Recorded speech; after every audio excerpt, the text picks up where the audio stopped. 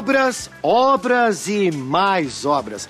Quem anda pelas cidades percebe que a construção de novas avenidas, pontes, parques e edifícios modificam a paisagem urbana. É o progresso, né? Sem obra, não vamos ficar palidos. Dependendo do local, é obra para todo lado. Como é que vai ter uma melhoria se não tiver obra? O país está crescendo, o mundo cresce, então precisa de, de obras. Está valorizando o meu imóvel, né? Obviamente que estou gostando, né? Muda trânsito, faz sujeira, muito barulho, mas ao mesmo tempo, filho, melhora muito o lugar, né?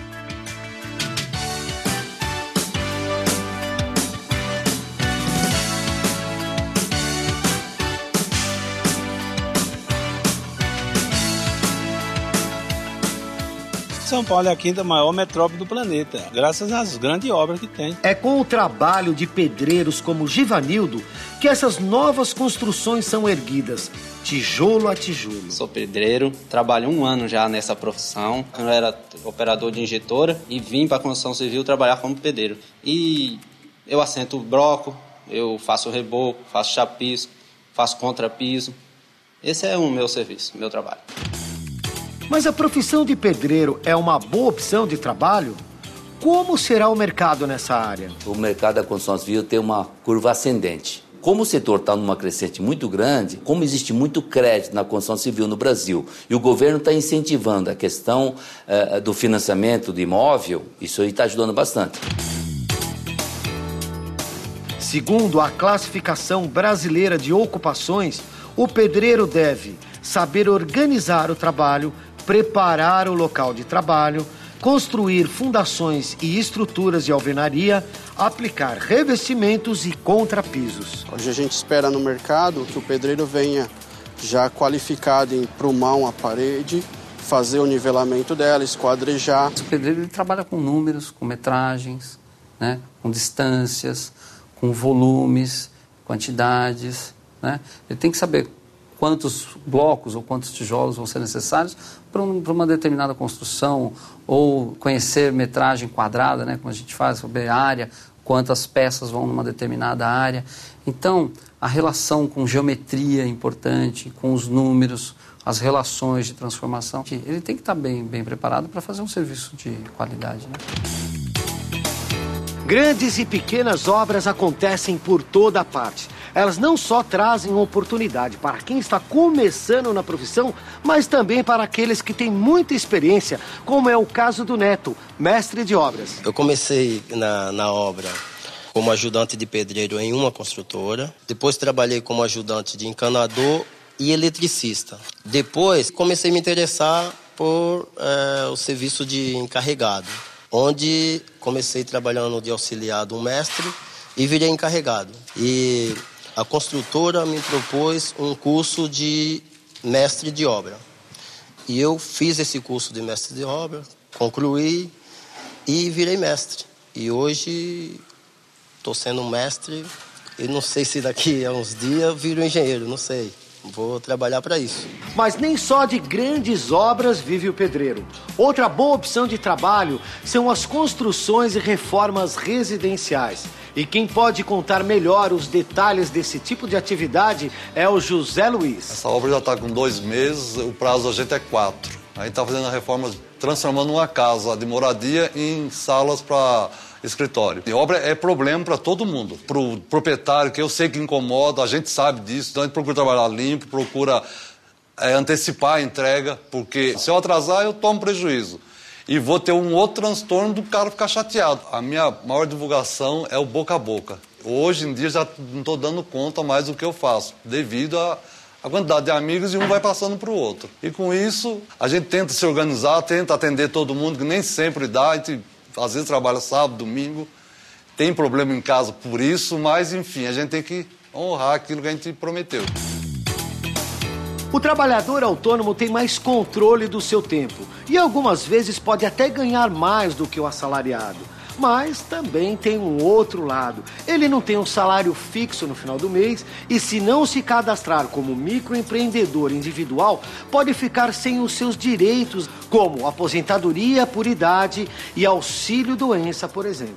A melhor coisa que eu fiz foi fazer um MEI, porque com um MEI você cresce.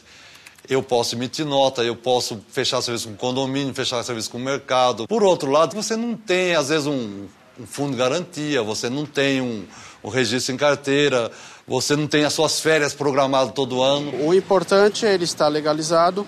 Né? Hoje o governo tem várias facilidades, né? como o MEI, para ele estar tá pagando os impostos, está tendo seus benefícios e dá uma garantia para o cliente que ele tem uma empresa aberta e o cliente está contando com uma empresa. Se o trabalhador for atuar como autônomo, é preciso que ele leve em conta os custos que ele vai ter para começar na profissão. No orçamento, ele vai fazer o planejamento dos materiais e dos custos que ele vai ter com a nota fiscal. Esse custo hoje é o custo previsto em lei para o MEI, que é 5% de imposto sobre a nota que ele emitir para o cliente final. E além disso, ele tem que no orçamento prever todos os materiais que estarão envolvidos e o trabalho dele, as horas que ele dedicará a essa atividade. Quando eu comecei, eu tinha a base da diária de um pedreiro. Aí, em cima disso, como era eu que fazia, eu calculava, vou gastar 10 dias. Então, cobrava, suponhamos que eram, era 100 reais. Eu calculava 10 vezes 100 e aí eu botava a mão na massa. Às vezes, terminava antes, eu lucrava. Mais um pouco que eu tinha previsto. Às vezes, também acontecia de eu atrasar por conta de muito problema no, no meio do caminho. Mas aí você vai pegando os macetes, você vai, vou, vou gastar 10, vou cobrar 15, que pode ser que aconteça alguma coisa. Você passa o orçamento para o cliente. Se ele aceitar, você negocia, ó, vai ficar em X. Ele aceitando, fechava a obra e começava. Além disso, o pedreiro autônomo precisa formar a sua própria clientela. Para fazer a clientela foi muito rápido, porque um fazia um servicinho para um, o outro indicava para outros, e assim foi indo. Hoje em dia, para dar conta, eu já tenho um monte de gente que trabalha junto comigo para me auxiliar, e é pedreiro, é ajudante. Para o trabalhador assalariado, as vantagens ficam por conta do salário pago no final do mês. E ainda o vínculo empregatício, ele terá direito a férias, décimo terceiro salário, descanso semanal remunerado, licença maternidade ou paternidade e ainda os benefícios da Previdência Social, como a aposentadoria. Hoje você tem muito mais trabalhadores com carteira assinada no mercado. Existe a preocupação do grande empreendedor, da grande construtora em registrar o seu funcionário. Né? Uh, ainda existe, ainda infelizmente, existe uma pequena parcela de mão de obra que trabalha sem, sem ser registrado, né? mas com certeza essa tem, a tendência hoje no Brasil é isso cada vez é essa situação né, da, da, da, ilegalidade ela ir diminuindo.